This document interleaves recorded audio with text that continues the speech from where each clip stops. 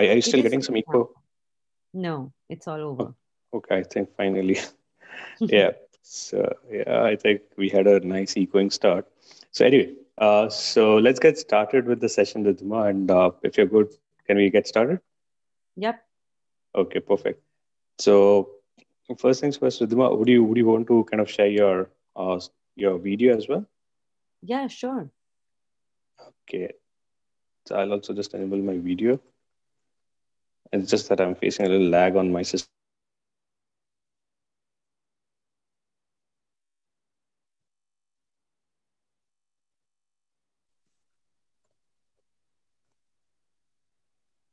Okay, meanwhile, friends, can you all give me a quick yes if all of can hear us clearly? So if you're able to hear me and Ridhima clearly, just let me know.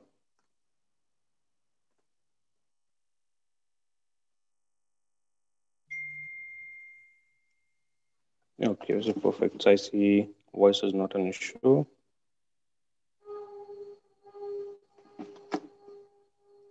Okay.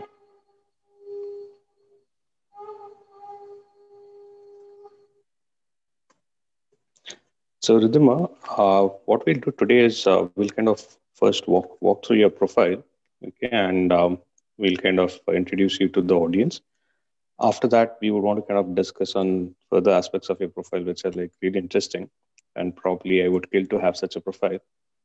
So give me a moment. I'll just share the uh, I'll share my deck, and then we'll get started. So sorry, guys. I think there's some internet issues at my end. I'm just trying my best to get it sorted out.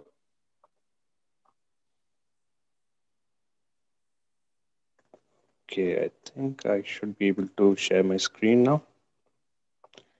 Okay, so Ridhima, before you share your screen, I have a small intro deck for you. And um, friends, can can I just have a quick yes if all of you are able to see the deck and you're able to see, uh, I mean, if you, if you can hear me clearly and you're able to see Ridhima as well.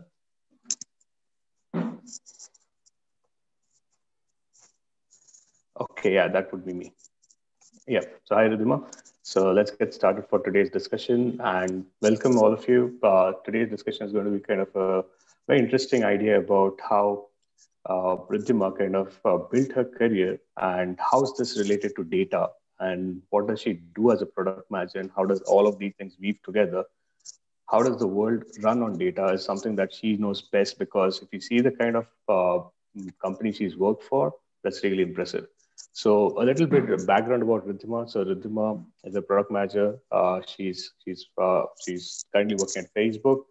Uh, she did a BA in Delhi, and then post that she moved on to work for Google for a while, and then she also kind of did her MBA from Indian School of Business, and she she's currently kind of driving teams in the product management sector. And along with that, few of her core skills would be that of products that of data driven decision making because if you want to run good products if you want to run people you should be really good at making data driven decisions and handling people. That's one more beautiful skill that somebody would really want to ha- kind of have.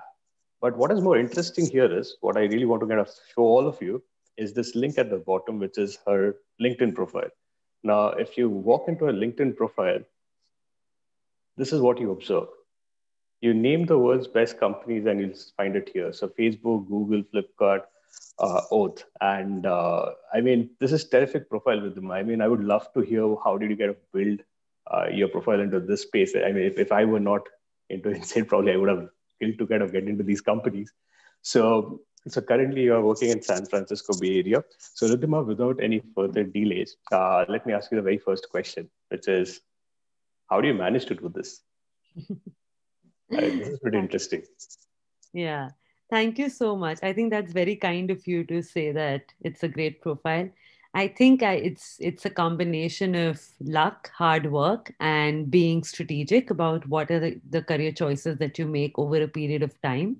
Right. Um, for me, when I was doing my graduation in Delhi University, I realized that I needed to be I needed to be in a company that I will love uh, build work on products that i use and i know understand how people use on a day-to-day basis and uh, that was actually one of the biggest motivation for me to join google right after college i did have the option of doing an mba from iim ahmedabad I had an offer from IIM Bangalore. I had done what everyone else does in India. We I took the CAT and I was pretty sure that I should be doing an MBA from one of the IIMs. But somewhere inside, I knew that if I wanted to do, if I wanted to be successful in the real world, it's not the education that will help me, but being able to apply that education in real world, which is why I decided to instead uh, work before I did an MBA. I thought it'll just be so much more powerful to be able to understand the real world, how corporate companies work, how teams operate, how people work, what are the expectations that are set for employees at different levels, um, how does calibration work, how do people enjoy their work every single day, what are the tenets of a good job that you wake up to and are excited to do every day. I wanted to make sure that I understand this before I get into an MBA and have a higher escalation of commitment uh, to be working in the corporate world, which is awesome. why I ended up to working, ended up working at Google, and um, I did that for five years before I did an MBA at ISB. Wonderful, wonderful. So I think yeah, quite a quite a few bits and pieces that we got to kind of learn from you around uh, how do you kind of strategize your career, and the word strategy itself resonates a lot with the product manager. Uh, can you help us understand what exactly does a day of a product manager look like? Like, what do you do as a product manager? Because a lot of friends here who are attending a session right now, uh, they come from different varied backgrounds, and very few we'll have from product management. So, if you can just give them a glimpse of what is your day to day life like. Yeah, absolutely. So, um, based on working in the product management world for now over 11, 12 years now, I think you can literally distribute the product management life into three areas, right? The first is that we make sure that we're able to connect and communicate.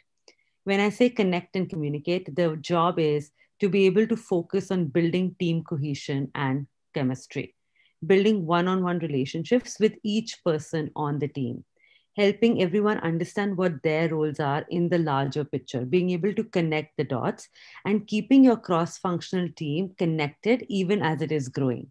So, as a product manager, you are not only responsible for the product that you're building, but every single cross functional team that is contributing to the success of the product. When I say contributing to uh, cross functional teams, what I mean is your financial counterparts, your financial teams, your product marketing teams, your design teams, your eng teams, your product experience analysts, your researchers, your uh, data scientists, data engineers.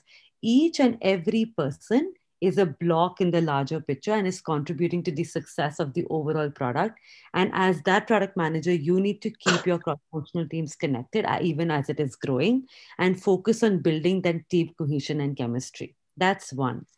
The second is um, analyzing and documenting uh, and discovering as well. So the idea is how do you, the best way to accomplish this is to be able to talk to the customer. A product manager is literally the the the voice of the customer on the table. So if say we are all in a meeting room and there are 10 people in the meeting room from product management, design, data eng, data science, uh, product experience, product, you basically have to think that the product manager is actually the customer, the mm-hmm. voice of the customer on that table when you're making a decision, which means that you need to be in constant touch with how your customers are reacting and responding to your product. You need to do constant comparative analysis to see how are competitors meeting the needs of the customers. You need to be doing market research constantly both primary and secondary research to understand what are some of the untapped opportunities that no one is looking at. A ton of times customers may not be able to tell you what they want because they themselves don't know but they'll be able to tell you what their problems are so that you can figure out what the best solution is. Um, i like to quote uh, Ford here, if you guys know Henry Ford, when um, when they were building cars back in the day, they went and asked people, "Hey, what do you want to to be able to commute from one place to other?" And everyone answered, "We want faster horses." Um, it was Henry Ford's vision who said they don't want faster horses; they want to reach from one place to the other faster, which is why cars were developed right so as a product manager really that is your job to be able to discover that untapped opportunity analyze it and then be able to come up with the solution there So once you do that, then being able to communicating and connecting your team to be able to get to that success is super important. Very nice. So uh, a lot of you may be wondering so far that uh, okay, we were here to learn data science, and then we have a product manager here. So if you just if you just listen to what Ridhima said in the last answer, and if you closely follow it, she actually highlighted all the pointers that are very, I mean, that is highly overlapping with the data science field as well. So understanding your customer, again, this is this goes without us. It doesn't matter which field you are in, you need to understand your customer as well. Understanding and collecting the right data to make sure that your decisions are proper. That's again something that a product manager does every day. In fact, to some extent, in the industry today, data scientist and product management, these two fields may look different, but there's a massive overlap between these two fields. So Ridhima, can you just highlight quickly for our friends here? Because primarily we, we, are a, we are an institute where we focus majorly on data science, but you are the person who's using it in industry every day. So can you give a quick glimpse of how data science overlaps with your job role? Yeah, absolutely. So data scientists and product managers actually work very, very closely together. As a product manager, my job once I build a product and I launch it is to make sure that I see it through that I'm able to analyze that product performance, that I'm able to understand how people are using that product, and I'm able to evolve that product into something that will be one of the, uh, you know, world class products. Which means that I have to look at user oriented metrics. I need to look at business oriented metrics. I need to look at company metrics. I need to look at top line metrics and make sure that they all ladder up so that overall the company and the business can grow while our customer base grows. So, being able to define those metrics is extremely important. And I'll talk a lot more about how you define good metrics. But Perfect. if you think of some user oriented metrics, things like active users, session yeah. duration, actions per session, adoption rates, customer retention, churn, like all of these metrics seem really easy to understand. But when and where to come up with the right metric, how to define it, how to operationalize it, how to use systems to be able to scale these metrics across the company, how to communicate these metrics is something that the data science and product managers work very closely together to come up with the right methodologies. I think the second aspect is also how we run experiments, right? So, as a product manager, my job you know i work at really large companies i worked at google and flipkart and facebook where we are really building products for now at facebook billions of users Right. And so we can't just do a market research with, say, tens of thousands of people and make a decision for billions of users. And hmm. so we do A B testing and how the A B testing framework is set up. I'll talk a lot more about it in detail, but these are areas where we collaborate very closely with data science to define the metric, design the experiment, create a framework on the experimentation, uh, analyze the experiments, run A B tests, um, figure out exposures, and then finally make ship or no ship decisions. Yeah, the moment you picked up these terms, it, it kind of excited me a lot because I, I, I kind of relate these into data science every day. And uh, what a product manager does is no different from what a data scientist would actually kind of help the project product manager achieve. So, do you work with product managers in your team? Sorry, do you work with uh, data scientists in your team as well, Ridhima? we work very closely with data scientists. Very closely, right? Yeah. So, so there's like a huge kind of requirement for you to kind of uh, work with data scientists on a regular basis, especially because you're working for a big company like Facebook, which is kind of catering to a few billions of people across the globe. So yep. I think without any further delay, you have a lot of useful stuff for us. I'm pretty sure, and I don't want to waste any further time. I'll stop blabbering now. I'll, I'll hand it over to you, Ridhima, and we are looking forward to hear a lot of things from you. I may have a few questions here and there. Uh, if you're okay, I can probably ask you during the slides itself. Absolutely. Yeah. Okay. So you, you can feel free to share the screen. So friends, I'll hand it over to Ridhima. She's going to share a deck and she's going to walk us through the different approaches that a product manager follows. What is more essential for all of you to kind of do is listen to her very closely and understand how, how is this being used at a very larger level, okay, at a very broader level, how, how, how decision makers really kind of make their decisions. What is the behind the scenes uh, for these companies? Please make sure that all of you are making uh, proper notes from what Ridhima has to share so that we can kind of ensure that we are kind of educated enough from her knowledge that she's sharing today. So, Ridhima, would you want me to share the deck, or are you are you planning to share? Uh, you can share, and I can I can just talk through it. Perfect. So, give me a moment. I'll just open the deck.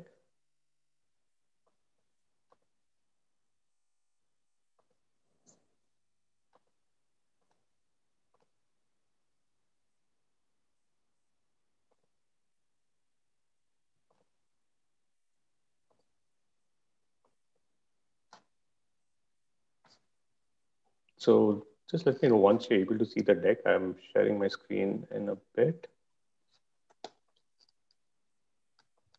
Yeah, it should be up in some time. Yep. It's up? Okay, yeah, perfect. So yes, Ridhima, over to you. I'll just mute myself. And in case I have some questions, I'll just come in between. Yeah, sounds great. Do you yeah, want to go to the next slide? Sure. So just let me know when I need to switch. Yep. So like I was mentioning right now, right? Product managers are really accountable for the success of the product and they're also responsible for the growth of the team. Data scientists are really just one part of the entire ecosystem to say uh, which are responsible for building a really great product right for you when as a user when you're using the product it might just be a blue button here or there but the amount of research the amount of effort that goes into building that blue button is manifold right? The content designer figures out hey what is the content that that will be usable which can actually be translated in 190 countries in 200 languages. So what is that right content that we can use?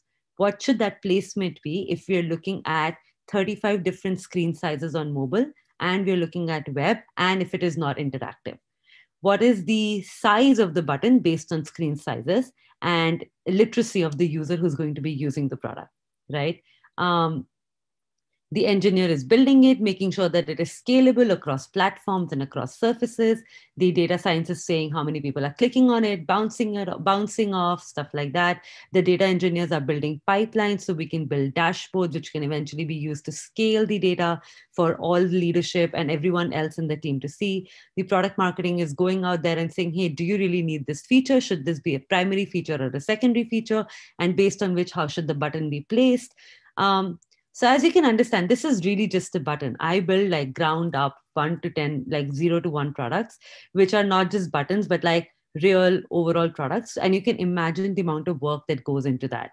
And really, so the life of the product manager in a day will go from talking to users, grooming the backlog, doing market research, meeting your cross functional partners, brainstorming ideas on untapped opportunities, reviewing your key performance indicators to see where your product is doing well, where it's not doing well, building roadmaps for the next quarter, for the next half, for the next year, for the next five years, and building your team in a way that everyone is moving really fast and in the same direction. One of the biggest um, mistakes that product managers make is like, oh, I am the one with the best idea. I understand data really well. I'm able to communicate really well, but every single cross-functional person in the team is running in a different direction. And that's that is the perfect recipe for a failed product. And so um, as a product manager, you are really responsible for doing all of these things, which is why a day or a week in a product manager's life looks very different based on the kind of product you're building uh, and the life stage at which the product is. And like I just earlier said, all activities can eventually be classified into these three things. How are you connecting and communicating with the team? How are you figuring out the product ideas, talking to your customers, doing research? How are you documenting all of this and making decisions and thereby also communicating it with your leadership and stakeholders so that everyone's on the same page? Let's move on. Sure. Now, as I said, right, like I think I've given you a good idea of what a product manager's life is all about. Now, let's de- delve a little bit deeper into what is the power of metrics to make a product super successful. So, like I was mentioning, to build products, product intuition is valuable, but it must be used in conjunction with data this is an age old question that we've all been asking ourselves and i've been asking myself in every phase of product development. Do i want to be data informed or do i want to be data driven? And the answer is it depends right?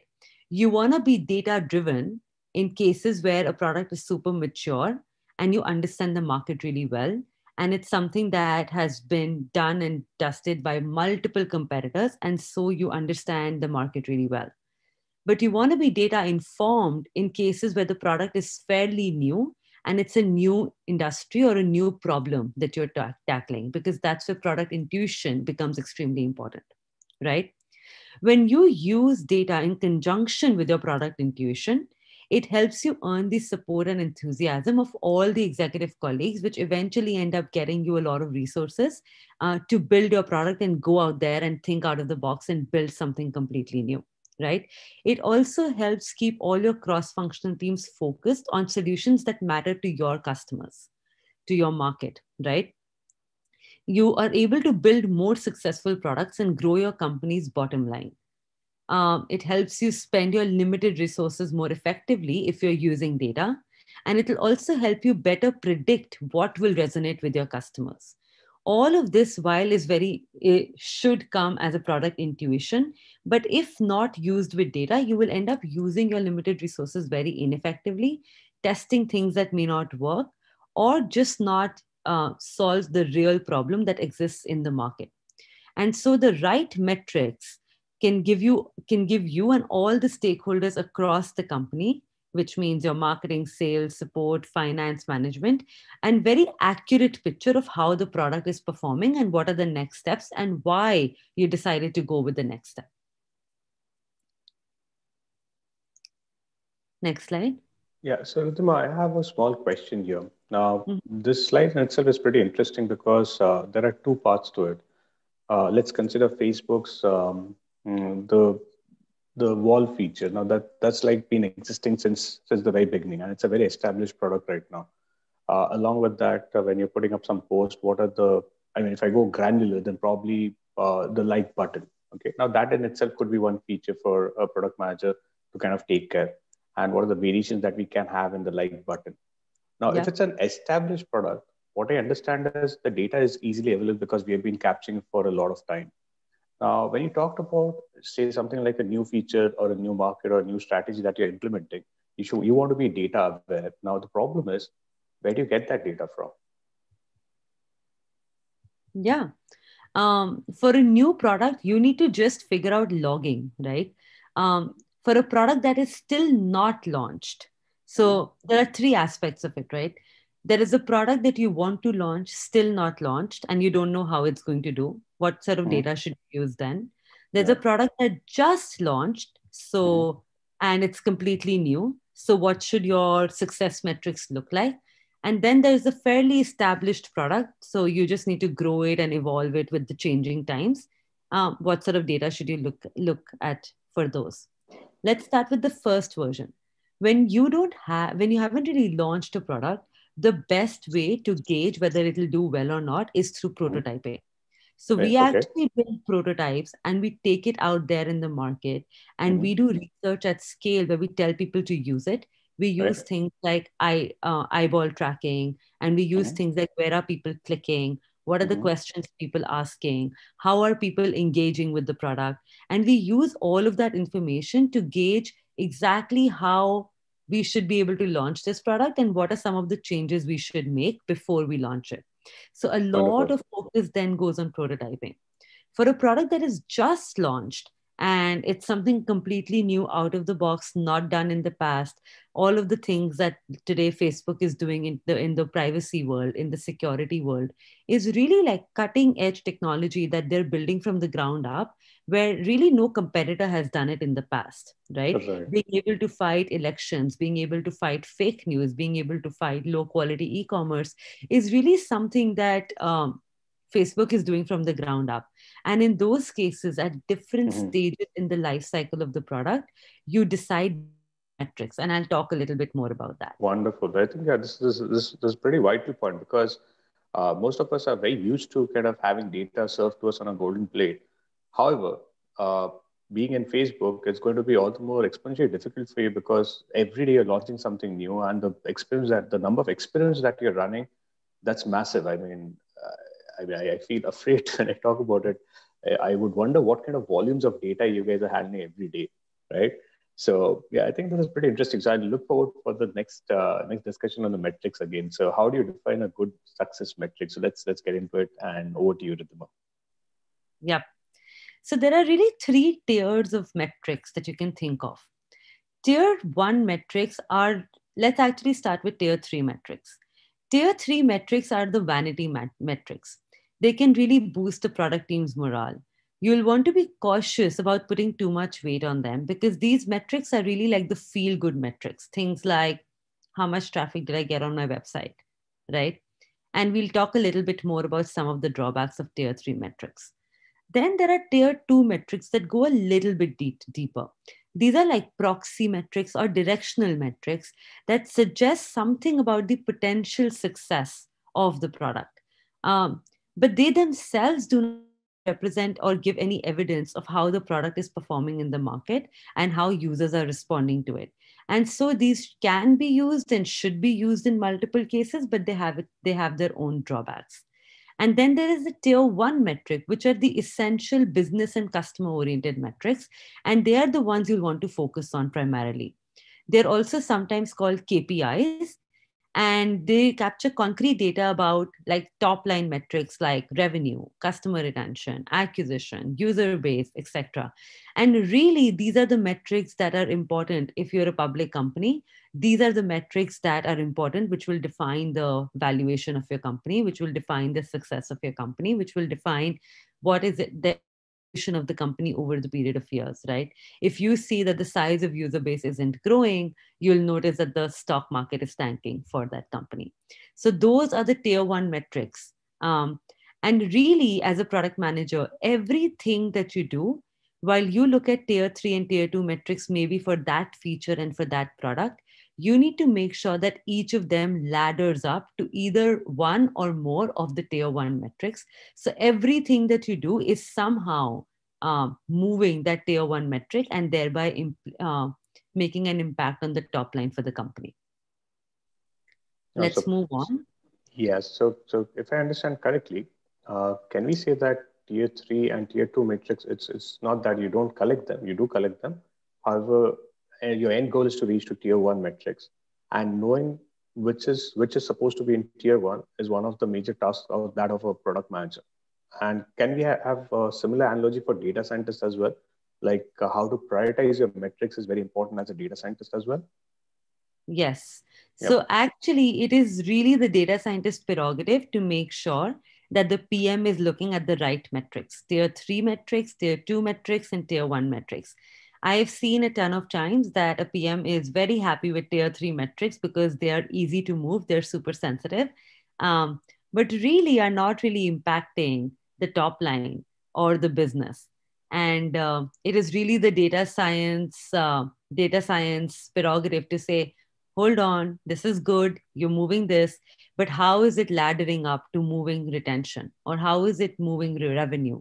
And if it is not, then how can we evolve the metrics to start looking at those numbers? How do we make sure that, how do we know what is the value of one person visiting the website to revenue? Being able right. to draw those correlations is really the prerogative of the data scientist. Yeah. Awesome. So, so yeah, in, in some sense, this is how close the data scientists actually work with product manager. They give them a direction as to what is going right and what is going wrong. So, yep. Ridhima, before we move on to the next slide, can you give a few examples of tier three and tier two metrics? We have it on the next slide. Let's okay, move on. Perfect. Yeah. Perfect. Perfect. Okay. So, yeah. Oh, wow. So, we're going to build something. Yep. So, yeah. now we just spoke about some tier three, two, and one and what those definitions are.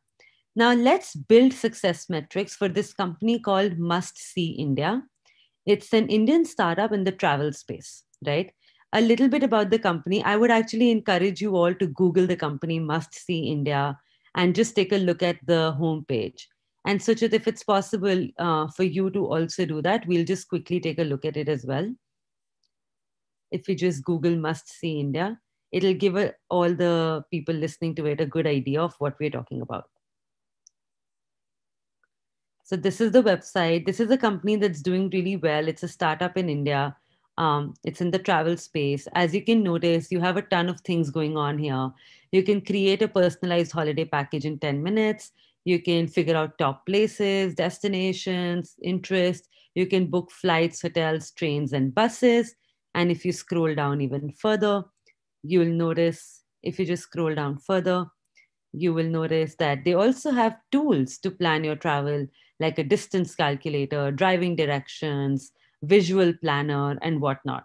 So lots of things this company is offering. And you can imagine that for each, I mean, just for simplicity's sake, let's assume that each of these tools, each of the modules on top that we saw has one PM each, right? Let's assume there's someone responsible for people clicking on top places, someone responsible for booking weekend getaways, someone responsible for booking it from the module on the left, on the right, around flights, hotels, someone responsible for the banner on the top and people clicking onto that, right? So let's just assume that there are like five to six PMs working on this entire homepage. Cool, let's go back. So we're building a success, we are building success metrics for Must India. It's an Indian startup. It provides online customized holiday packages. Users can create their own package without the need for call center contact. It provides access to in-depth travel guides. It helps you calculate the distance between cities and travel destinations to make planning easier.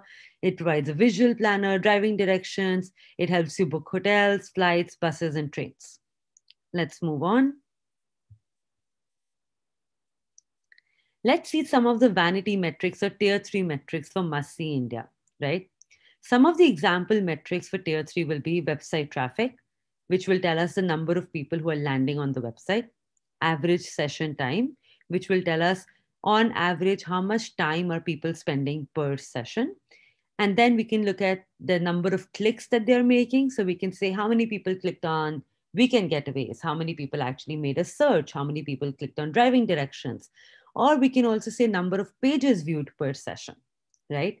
So these are some example tier three metrics. I'd love for you guys to kickstart a discussion in the chat and tell me maybe a few more vanity metrics that you can think of for Must See India. And then let's think if all of these metrics, do they tell you anything about how your product is resonating with customers or how well it will do in the coming months? I see people saying bounce rate, downloads, bookings. Um, downloads, yes. Bookings, no.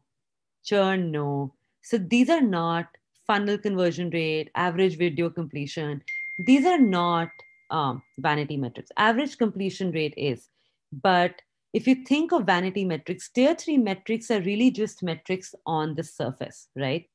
Uh, and so you will look at things like like you're saying, chatbot interactions. Yes, that is definitely one. Um, um, visits, yes. Cookies, yes. Locations from where people are coming, yes. So you guys got it, right? Average time spent on the website, yes. Number of comments, exactly. So you guys got it. Now, these are your vanity metrics. But really, if you think about it, are they really telling you how the how the product is going to do in the next coming months? Or how well the customers are doing? It won't. The reason being that you might see, oh, I have so many interactions with the chatbot, but they could all be because people are just frustrated with the product and they're asking you for questions, which ideally they should be able to do on the website. You might see a ton of traffic on your website, but they could all be coming to your website to just uh, maybe look at driving directions, right? Uh, average session time much is much longer, but do you know if it if a long session time or a short session time is good? We don't know. So this is useful for driving the morale up. It tells you some adoption metrics. It tells you um, you know how people like how are people responding to your product. It can give you some sort of analyses on saying okay you know i have so much traffic but if 10% is the bounce rate then industry bounce rate is should be lowered so maybe we can improve that but it really doesn't tell you what will be this company's outlook two years from now, five years from now, one year from now, right? So let's move on. So vanity metrics do give you initial signal, but they have their own disadvantages. It's very easy if, if a product manager only looks at these metrics, it's easy to mislead product direction. An example being that I see a ton of traffic on my website, as a product manager i want and i say i am gold on getting more traffic say that's my um, that's my metric what i will end up doing is trying to get as much traffic as possible on the website irrespective of whether it's whether having a good conversion rate whether it's relevant whether it's actually going to move the top line metric So it's easy to game these metrics, but they're vanity metrics. So it feels good. Oh, I have 2 million, adver- 2 million businesses coming onto my website. Or in, in cases of Must See India, I have 20 million users coming on my website daily, right? Well, sure, but how much business are you generating? And so the question to ask is Do these result in real business outcomes or impact on top line company metrics? It may lead to inefficient product investments because now, if I am gold on website traffic, I will put all my efforts, I will put all my eng efforts and product marketing efforts and money and finance in getting more traffic to the website, which really may not move the business outcomes, right? And they generally, you will notice, don't really move the needle on core business metrics until used in conjunction. Let's move on to tier two metrics. Now, tier two metrics are essentially your directional metrics or must uh, or uh, proxy metrics. So for must see India, some of the example directional metrics would be things like weighted engagement, which will tell us quality of engagement, which means does this engagement have a potential to convert to business? Which means that if people are engaging with a weekend planner and and engaging with driving directions and also doing a search. I give a weight to each of these actions. I come up with a formula to come up with weighted engagement. And now that might tell me what is the probability of success and conversion to real business right? So it again it's not really moving my metric directly which is the core business metric but it gives you good direction and it's a good proxy metrics right? Weighted feature adoption um, social sharing, customer reviews. Like I have so many people sharing this product with their customers, and so there might be some use. Uh, I have so many customer reviews, um, and so people are actually liking the product. And it tells you that, all right, if I have so many people responding to my product, so many people writing reviews, so many people doing social sharing, then it does tell me to some shape or form how the company might do in the coming months, right? I'd love for you guys to think of some tier two metrics now and put them in the chat. And I can see NPS score, that's right. Um, average revenue per session, that's right. Cart conversion, that's right. Uh, newsletter subscribers, that's right. Um, yep, so you guys got it. Um, so these are all your tier two metrics. Um, uh, let's move on to some of the drawbacks of tier two metrics. So they are better than vanity metrics, but they should always be used in conjunction with North Star metrics. So they give you a good understanding of areas the team should invest in.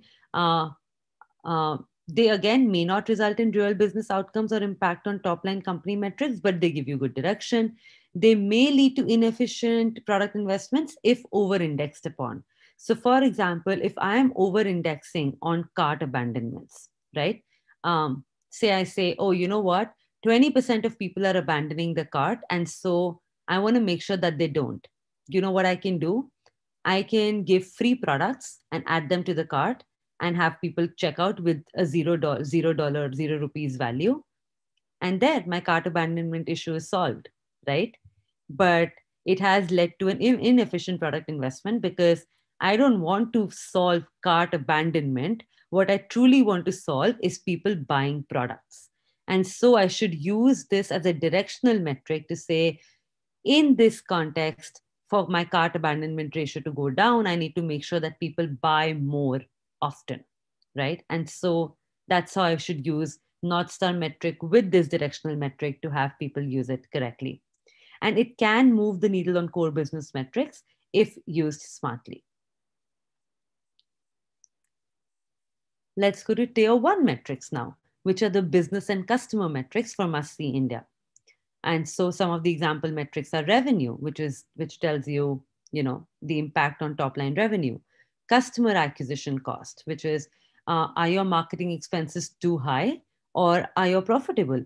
Uh, do you need to charge more for your products? Do you need to reduce your marketing expenses? What is the customer acquisition cost?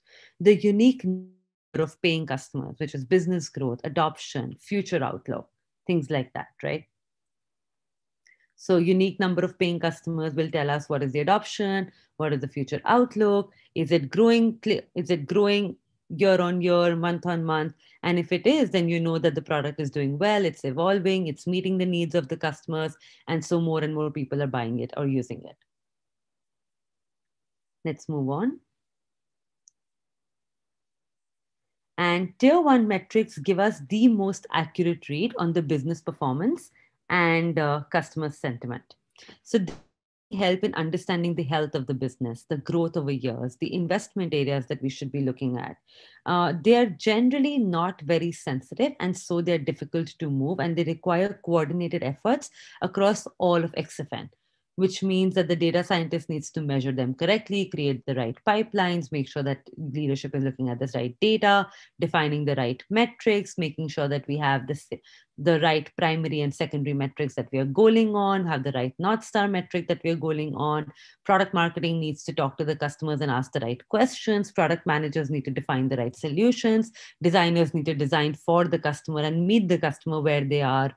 And so each and every XFN really needs to work together in order to move one of these North Star metrics, right? And it really keeps the team true to the value and helps evolve the vision and mission of the organization.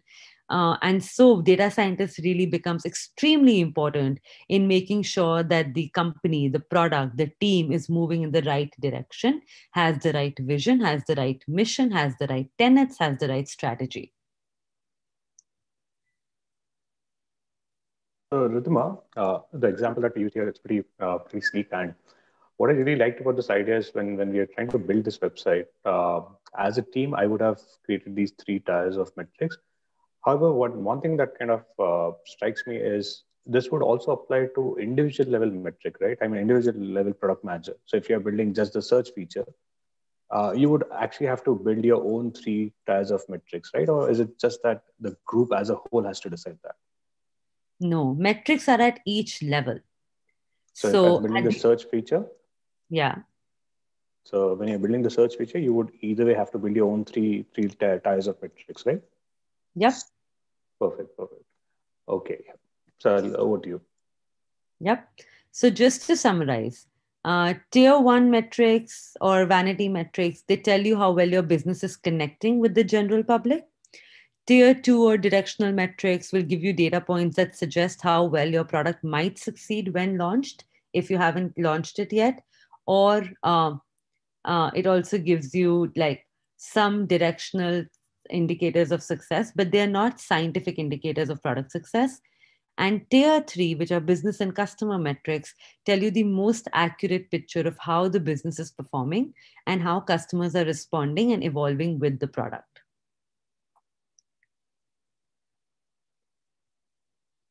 Now, we spoke about so many metrics. Uh, but really, when it comes down to practice, it's extremely important for each team at each level. Like I'm a product manager, I manage a team of 10 PMs, for example. Each of the 10 PMs that I manage will have a North Star metric that they are operating at. That North Star metric will then ladder up at my level, which will become the org level North Star metric. And then multiple, like my peers who also have, like, say, five, 10 people reporting to them, our North Star metrics will ladder up to then become the business unit level North Star metric, which will eventually then keep laddering up to become Facebook level North Star metric, right? On average, as you keep growing up over and over and your scope increases and your responsibility and accountability and just the the level at which you're able to make an impact changes, the number of North Star metrics go up. But in general, a good rule of thumb is that for people at our levels, we should have at least one or two North Star metrics that we're looking at, right? And really, these North Star metrics will change over time, right? Uh, for a new product, it is different. For a midlife product, it is different. For subscription businesses, it is different. For hardware products, it is different. So, really, the data scientist really needs to think hard to say, what is the North Star metric for this team, given the impact and the scope that they have, given the charter that this team has? What is that? What is that one or two North Star metrics that we should be gold upon that this team is truly accountable and responsible for? Right? Um, so, just to give you guys some examples, um, a new product or company, uh, the North Star metric in that point in time should be something like an adoption or number of active users, right? For a midlife product, been there for two, three years, there is a ton of competition, market share becomes important, lifetime value becomes important, revenue becomes important, right? Uh, for a pivotal product, never done before, thought leadership, out of the box completely, NPS are some of, uh, or engagement becomes a North Star metric. NPS is Net Promoter Score, which will eventually tell you how people are engaging with your product, what's the interest like in your product, how are people responding to it, what percent, what type of people are responding to it, what are their questions, how are they thinking of using it, right? For subscription businesses, it's generally monthly active. They look at monthly because generally subscriptions are monthly. They look at churn, right? So, really, depending on the life stage of the product, the type of product, the scope of the product, the area of control, the DS has to really think about hey, what are the North Star metrics? What should it be defined at, and how should I operationalize it? Uh, the the um, a metric, a North Star metric that the team takes on has three tenets. It should be easy to understand, it should be easy to operationalize, and it should be sensitive and easy to be moved. And if it does all of these three things, then that's a strong North Star metric. I'm getting okay. a few questions. Why is yeah, it I, called? Yeah. yeah. go ahead. Yeah, I think, yeah. So the questions that, that are uh, primarily being asked is what is NPS and why do they call it North Star? So North Star basically is the most important metric for your company. So Ridhima, if I understand correctly, uh, so the metrics can actually change the hierarchy, right? So something that is L1, uh, sorry, which is tier one for me as a new new company could possibly be a tier two for a mid-sized company. Absolutely. Right. So the metrics will it's it's very contextual in nature. And as data scientists, we deal with context every day. And uh, we got to be aware of which metric hits my business the most. And I should be kind of focusing hard on that and making that as my North Star metric now, followed by that, you should also build your tier two and tier three metrics so that you can utilize this knowledge of the overall behavior of your business. And these metrics are going to kind of help you solve that problem. So yeah. I'll just pick up one question here. Um, so we have, when you acquire any product, how do you make sure it's Facebook product standard and metrics? Developing new wheel is not the good idea. So how to maintain the same product quality as Facebook has for existing products? It's a little complicated question, but uh, yeah, if you can just uh, answer this. I mean, if I understand correctly, what uh, Jigna implies is how do you maintain that consistency across different metrics for for new features or new products that you're going to kind of build? Yeah, I can and see how, that Jigna has asked this. When you acquire any product, how do you make sure it's as per Facebook product standard and metrics? So when you acquire a product, you're not really looking at Facebook product standard or metrics. When you're acquiring a product, you're looking at does it match the vision and mission of the company? So, for example, Facebook's mission is to connect the world, right? To make meaningful connections in the world, right? And so, Instagram, when Facebook acquired Instagram, really what Instagram was doing was being able to connect people through visual uh, stuff, through photographs, right? Um, they had all of these filters and people were interacting people were building connections people were making friends people were following learning stuff like that and it really matched the vision of the product of facebook it matched the mission for facebook and so it was a good fit so if you think of that, if you think about it, all of the acquisitions that Facebook has made has not been around, oh, what is the color schemes that you use? What are the metrics that you measure? What is really, um, you know, uh, what is it like what is the product standard that you have? It doesn't really matter because once you acquire the product you decide how how that product is going to evolve over a period of time as long as you stay true to the mission of that company. Same thing with whatsapp. When facebook acquired whatsapp whatsapp was in a way enabling meaningful connections one-to-one connections group connections between people because people were now able to chat and talk to each other very easily especially given that whatsapp was such a large product in all of the emerging markets right? And so it was a really strong acquisition for facebook because they acquired the product because they realized that they can advance their mission of connecting the world now by connecting people through another channel of messaging in global markets where facebook didn't have that sort of a blueprint So, so I think uh, this reminds me of a very popular jargon that MBA grads use. Uh, it's called a synergy. So it's, yeah. it's always a top-down game. So uh, if, if the synergy is mass, uh, getting a framework and standardizing a process across the two organizations, it's not a big deal. It's being done across the world every day. So yeah, so we'll we'll move to the next part, which is how should you kind of uh, build that product roadmap on Yep. Actually, let me answer this question by Santosh before I move on. I think that's a very important question yep. that says okay. how much of the acquisition decision is driven by data? And the answer to that, that is, in my mind, it is um, it is equally important to the synergies of the mission, right? Uh, and two types of data really. One is data around what's the usage right like now, right? How many people are using how many people are engaging with it, what's the revenue, what's the market share, because you want to make sure that when you acquire a company, you pay a fair price for that company, right? Um, it has to do well with the with the founders, the employees, the customers of that company, and so you pay a fair price for that company. So that is the data you look at. But the other data you look at is the future outlook. If if a, if a Facebook was to overtake a company today, how can Facebook enable that company to grow manifold at a much more exponential pace than what it would have grown without Facebook? Right. So really there are two, it's a two-prong approach. You look at the current state and then you look at the future outlook and you make a make a valuation of it together when you pay the fair price for that company. So data is actually as important as the fact that, you know, what is the mission and does it match the mission of the company? Okay. We can move on now. So, um, so then I think the next question that comes up is how should the product roadmap be based on data? Because we've spoken about how important it is to measure success, but really, how should it be based on data? And we must tie the product roadmap to the product success metrics, right? So, like I was saying, use success metrics to provide strategic reasoning for each roadmap initiative. So as Suchit, as Suchit mentioned recently, right? Like if I'm building that search feature or if I'm building on the newsfeed, I'm building that like button, make sure that you're using the success metrics for each of these initiatives, right?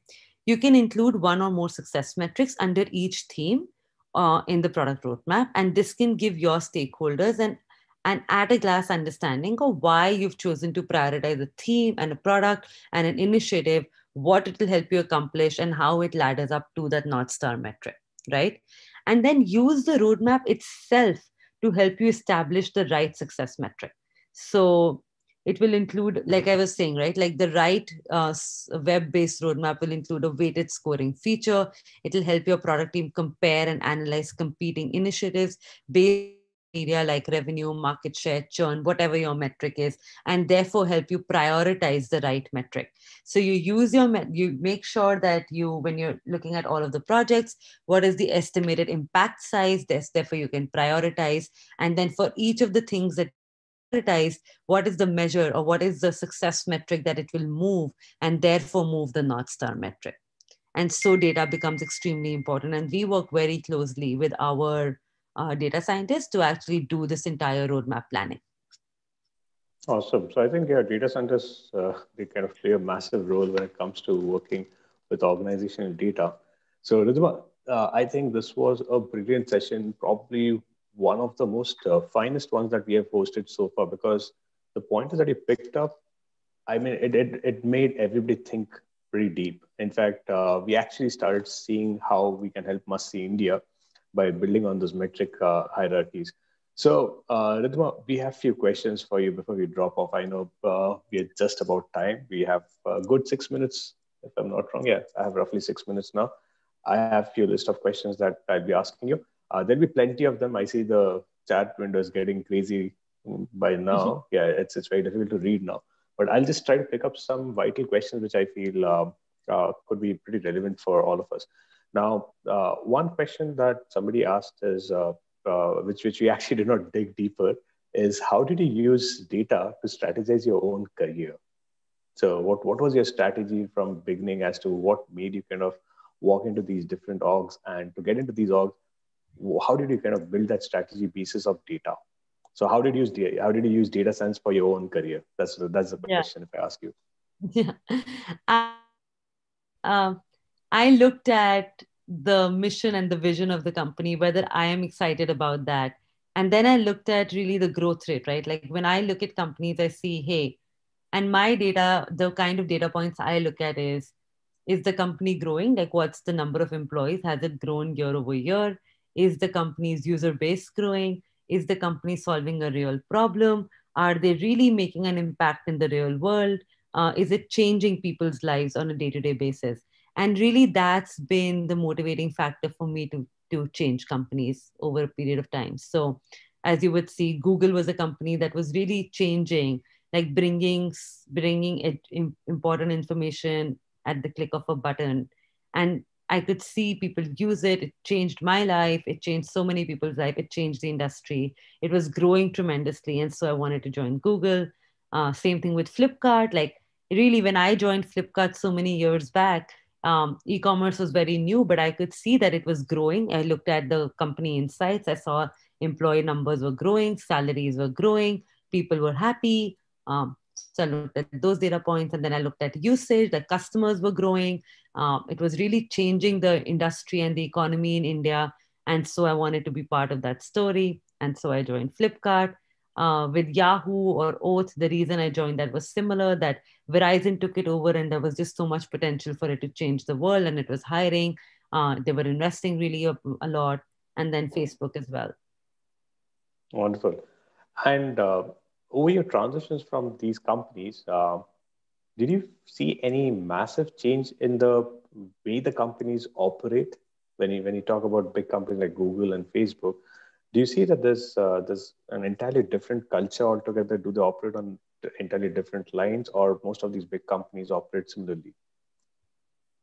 I think it they all operate differently, but the core tenets are the same right okay. i've seen that they hire self-motivated people they mm-hmm. hire smart people and they let you do the job they mm-hmm. um, give you a big problem they throw you in the deep end and you're supposed to figure things out they're looking for people who are proactive right? Um, they encourage people to ask questions. They encourage it's generally a flat structure.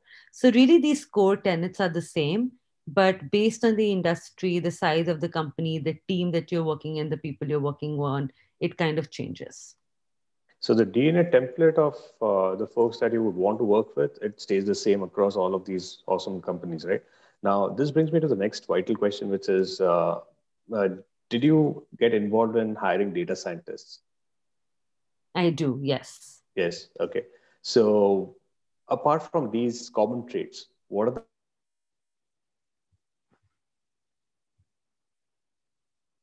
I lost you. Uh, lost me again. I'm sorry. Is it, is it, is it audible now? Yeah. Yeah. Okay. So apart from these common traits that we have for uh, people working in these awesome companies, uh, what else do you really focus on when you're hiring a good data scientist? You know, I am really looking at curiosity. I'm seeing is the person curious? Is the person asking the right questions? Is the person, um, you know, able to identify drawbacks of each metric that I'm throwing at him or her?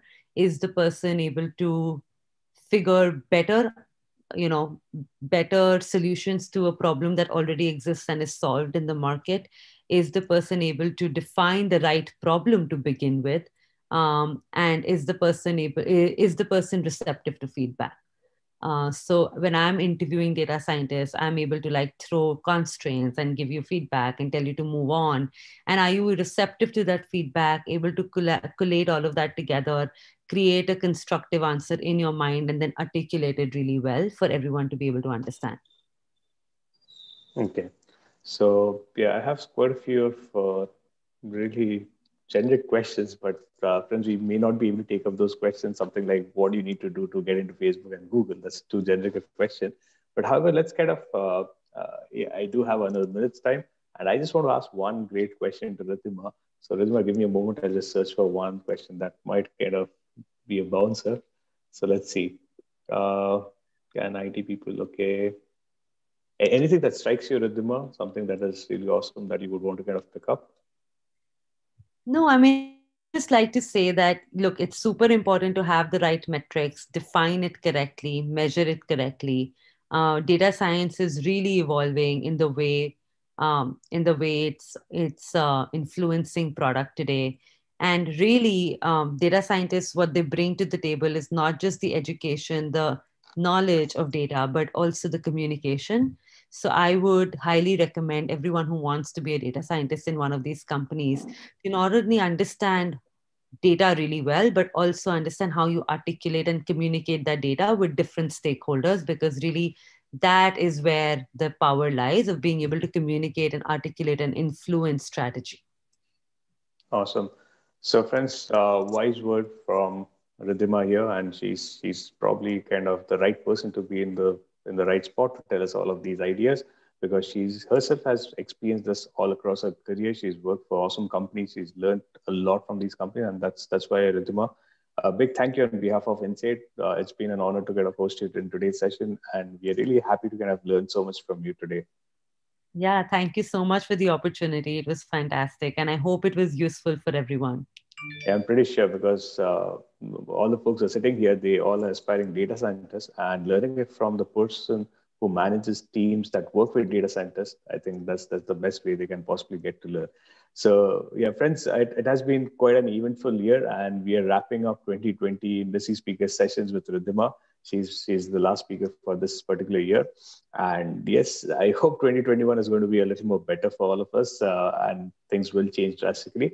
So keeping that in mind, thanks a lot, Ridhima, for your time and for sharing your knowledge here. And thank you all for attending today's session. We hope to see you again, Ridhima, sometime down the line with some more insights around data science and product management. Take it together. Absolutely. Thanks a lot. Yeah, again, yeah, you. I think my friends here have also started thanking you. Yeah. Uh, yeah. So yeah. So uh, anyway, thanks, thanks a lot. Yeah. yeah. Sorry, over to you, Ridhima. Thank you, everyone. Okay. Yeah. Thank you. So thank you, guys. You may all terminate the sessions now. Please log in back to your classes so we just overshot by a minute or two. Please get back to your classes and we'll resume our courses uh, after the session. So uh, thank you all for attending. We may all terminate our sessions now. Thank you. Thank you, Ridhima. Take care.